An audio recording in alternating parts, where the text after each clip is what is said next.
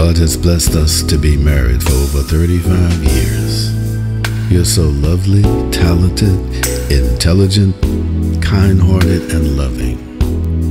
I thank God for having you in my life. I'm grateful God has given us this relationship and sustained it with His grace. Because of this, I believe our love will be always and forever.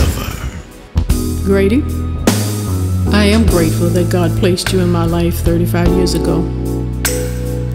You encouraged me to develop a true relationship with God, who is love. God loved the two of us in His own special way, and for that I am grateful for. Grady, you are my dream come true, and you will always be my always and forever. I love you, Laquita. I love you too, Grady. And to our God.